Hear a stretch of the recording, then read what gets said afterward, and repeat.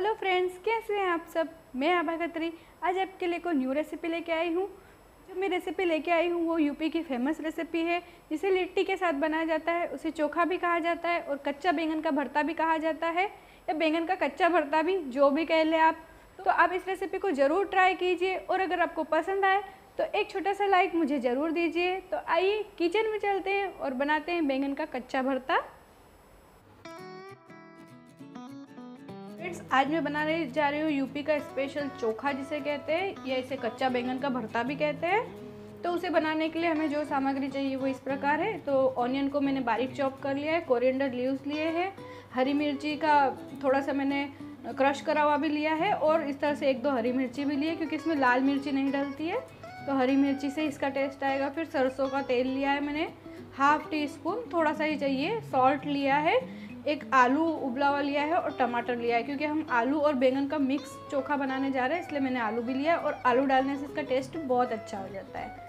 तो और दो तीन कली हमें लहसन ले लेना है। तो सबसे पहले मैंने बैंगन को इस तरह से स्लिट करके रखा है। अब इसके अंदर हम लहसुन डाल देंगे।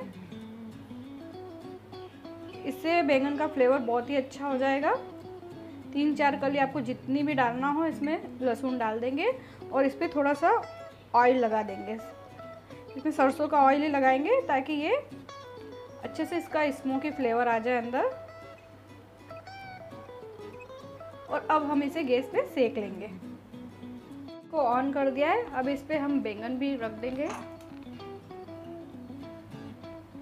टमाटर भी हम इसी पे रख देंगे। और हरी मिर्ची भी रख देंगे। आप इस तीनों को साथ साथ में भी सेक सकते हैं और अलग अलग भी सेक सकते हैं। अब इसे फ्लेम में तेज कर दूँगी। तो बैंगन को हम अच्छी तरह से भून लेंगे। तो फ्रेंड्स, देखिए हमारा बैंगन भी अच्छी तरह भून गया है, टमाटर भी और हरी मिर्ची भी अच्छे से भून गई है। ये जली नहीं है, इसके सिर्फ़ छिलके इस तरह से हमें भूनना है ताकि अंदर से बहुत अच्छी तरह से पक जाइए तो अब मैं इसे एक प्लेट में ले लेती हूँ। तो इस तरह से हमें इसके छिलके निकाल लेने हैं। तो इस तरह से बैंगन के, टमाटर के भी छिलके निकाल लेंगे हम। तो मैंने ये देखिए गार्लिक भी छिली हुई है और बैंगन और इसके छिलके निकाल लिए टमाटर के तो अब हम इसे रेडी कर लेते हैं। तो अब मैंने एक बाउल ले लिया, उसमें बैंगन ले लिया मेरा। से मैशर से मैश कर लेंगे। इसी में साथ में हम आलू भी ऐड कर देंगे तो ये भी मैश हो जाएगा। आलू डालने से चोखे का टेस्ट बहुत ही अच्छा आता है, क्योंकि किसी किसी को बैंगन का टेस्ट पसंद नहीं आता है तो आलू डालने से बहुत अच्छा आता है इसका टेस्ट।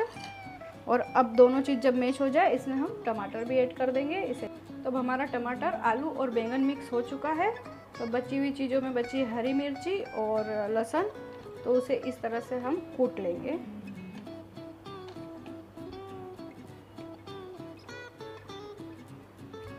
तो अब आप देख सकते हैं, हरी मिर्ची और लहसुन को भी मैंने कूट लिया है। तो अब हमने जो चोखा मैश किया था, आलू, बैंगन, टमाटर का, उसमें ये ऐड कर देंगे। और बची हुई सामग्री में हमें इसमें ऐड करना है प्याज, जो हमने बारीक चॉप करके रखे थे। टेस्ट के अकॉर्डिंग प्याज ऐड कर लेंगे इसमें। मिक्स कर देंगे सबको अच्छे से। अब इसमें डालेंगे हम नमक, स्वाद के अनुसार। कोरिएंडर लीव्स और लास्ट में कच्चा सरसों का तेल। इसमें सरसों का तेल डाला जाता है, जिसे ये नहीं पसंद हो तो घी भी डाल सकते हैं। तो कच्चा सरसों का तेल इसमें ऐड करेंगे और अब इसे मिक्स कर देंगे। जब अच्छे से सब मिक्स हो चुका है तो हमारे यूपी का फ़ेमस चोखा रेडी है, या इसे कच्चा भरता भी कहेंगे, आलू और बैंगन का। तो अब मैं इसे सर्व कर लेती हूँ।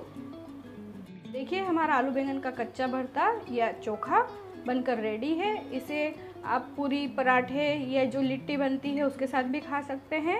तो आप इस रेसिपी को ज़रूर ट्राई कीजिए। बहुत ही क्विक रेसिपी आपने जैसा कि देखा है, इसे बनाने में पाँच से सात मिनट लगा है बस।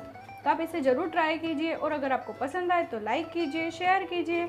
अगर आपने मेरे चैनल को अभी तक तो सब्सक्राइब नहीं किया है तो प्लीज़ सब्सक्राइब कर दीजिए। Thank you